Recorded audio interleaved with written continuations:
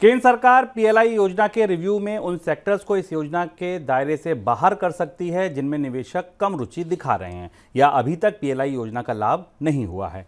सरकार उन योजनाओं पर ज़्यादा, इस योजना के तहत उन सेक्टर्स पर ज़्यादा फोकस करना चाहती है, जहाँ सबसे ज़्यादा फ़ायदा हो रहा है, जहाँ से सबसे ज़्यादा रोज़गार आ रहे हैं। अभी कुल चौदह सेक्टर्स हैं अलग अलग जो इस योजना के दायरे में आते हैं। सर, कौन से सेक्टर्स कम हो जाएँगे?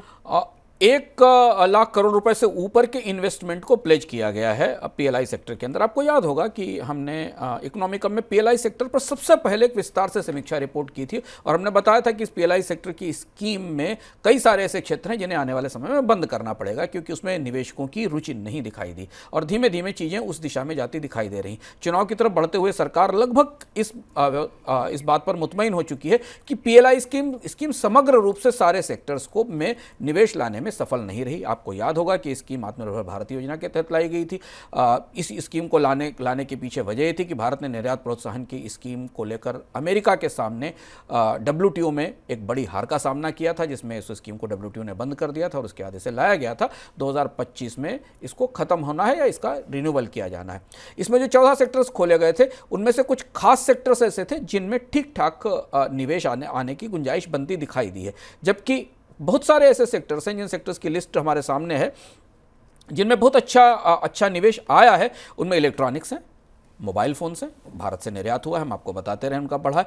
बल्क ड्रग और फार्मास्यूटिकल्स में भी थोड़ा निवेश आया है टेलीकॉम में और कुछ हाई टेक्नोलॉजी सेक्टर में इनमें निवेश आया है। और यही इतने सेक्टर हैं, जिन सेक्टर्स के आधार पर पीएलआई स्कीम में में थोड़ी सफलता दिखी इसके अलावा आईटी हार्डवेयर सबसे महत्वपूर्ण है।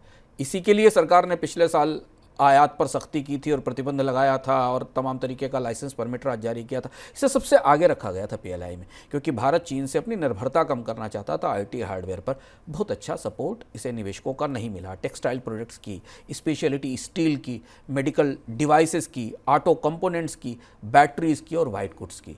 ये ऐसे सेक्टर हैं जिन पर प्रोग्रेस बहुत अच्छी नहीं रही, यानी निवेशकों ने यहाँ निवेश करने में करने में रुचि नहीं दिखाई। विस्तार से आप इकोनॉमिक में देख सकते हैं हमने एक एक क्षेत्र का विश्लेषण किया था, जहाँ बताया था आपको, लेकिन अब इस स्कीम में के स्वरूप में बदलाव होगा। सनसेट सेक्टर्स को हटाया जाएगा सनसेट क्लास डाला जाएगा, और शायद ऐसा लगता है कि कुछ उन्हीं सेक्टर्स पर फोकस किया जाएगा, जहाँ वास्तव में विदेशी निवेश आने की गुंजाइश है।